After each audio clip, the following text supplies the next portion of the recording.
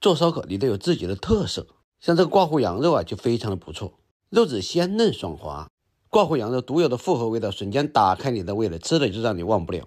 今天老李三十八秒教会你学会了，在家也能做出烧烤店的味道。首先，新鲜的羊排肉未冻之后，顶刀切成块，竹签子穿起来放一边备用。挂糊羊肉好吃的关键呀，就在这个面糊里面。首先，高筋面粉加入一百五十克，生粉加入八十克在里面，十三香加入六克，吉士粉加入四十克，姜黄粉加入三十克。咖喱粉加入二十五克，味精、鸡粉、白糖各加入六克，烧烤小料加入十克在里面，半个洋葱打成泥放在这个碗里面，再加入两个鸡蛋，再加入半瓶啤酒在里面，再少加一点水，把这个糊啊调成如视频这样干稀程度就可以了。把穿好的羊串放在这个碗里面，均匀的淋上一层面糊，尽可能是每一串羊串啊都均匀的沾上一层糊。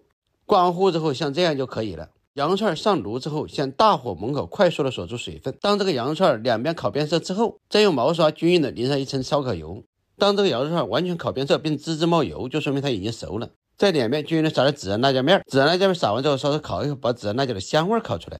就这羊肉串的吃去吧，小味老毕了。想学烧烤别的话，找我老李就对了。